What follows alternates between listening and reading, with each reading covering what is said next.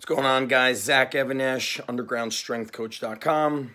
I don't talk too much about nutrition, and I always claim I am not a nutritionist, but I follow some pretty basic principles, and uh, almost 44 now, and started kind of getting into the whole bodybuilding thing like 30 years ago. So I've really experienced the bodybuilding diet. I did intermittent fasting or the warrior diet.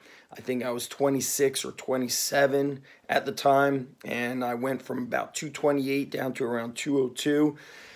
and I've experimented with different ways of eating, but right now the big focus is how do I feel when I eat? Do I have the energy? And so when I have a workout coming up, let's say, you know, Monday I'm squatting. Well, on Sunday, I know that I got to make sure I am well fed, that I am prepared for Sunday physically and mentally. So my preparation before squatting, it starts the day before, not just the day of. And so um, today was a strange day where I really woke up in the middle of the night, but uh, sometimes I'll skip breakfast.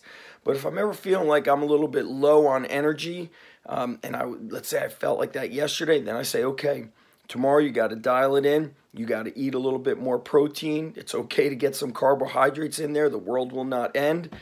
And uh, get a little extra sleep. Get get to bed 30 minutes earlier. Get to bed an hour earlier. So um, here's breakfast right here, guys. Nothing crazy. Uh, six scrambled eggs, piece of toast with Kerrygold butter on there. I know the um, carbohydrate police are going to get all worked up about that, but for me, it's performance. So I'm not my thing is certainly not getting ripped. Um, that for me is like a, a whole no, a whole nother world and a whole nother ball game. As a father of two, a husband, a business, full time work, multiple businesses, I'm constantly on the run. So I just keep it simple, guys. Scrambled eggs for breakfast. On Sundays, I always make pancakes for the family, so I'll have one large pancake. Um, Sometimes I'll have bacon, but for the most part, it's eggs.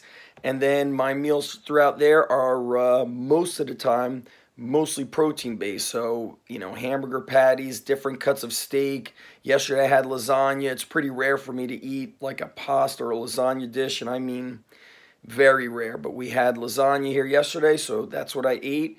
And um, the one thing I always say is like when you're an adult, you don't need to eat like a kid, and vice versa. Kids should not be eating like adults. They should not be intermittent fasting or going keto. That's insane.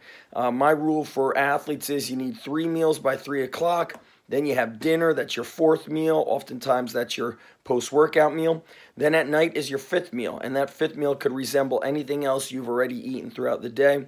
It could be another breakfast, it could be dinner leftovers, it could be a protein shake. The key is you're training for performance. Those of you who are dads out there, business owners, same thing. You're training to for performance to feel strong, and so uh, you got to fuel the body, guys. And uh, eggs and meats make it pretty simple. And um, a couple months back, probably early summer, I did an Iron Roots podcast on the early days keto diet. It was written in the mid 1960s, and uh, they didn't call it the keto diet. It was basically the all protein diet and it was probably inspired from Vince Gironda, who would talk about 36 eggs a day or who would talk about the steak and eggs diet. And so, um, as many people tell you, nothing is new or what's old is new. And it's interesting that a lot of this, like anabolic diet style eating, is coming back to the forefront. Here's the big difference, though the food of today is way, way different than the food of the 60s and 70s. Think about the milk that they drank, you know, five, six decades ago, four decades ago. Way different than the milk we're drinking today. Same thing with the meats. A lot of less chemicals involved in everything back in the day, which I believe made those foods more powerful. But anyways, it is it is what it is. This is what we got. Got to make the best of it, and that's it, guys. Zach Even-Esh undergroundstrengthcert.com for the strength coaches. And if you're a strength athlete, go to zachstrength.com. Boom, I'm out.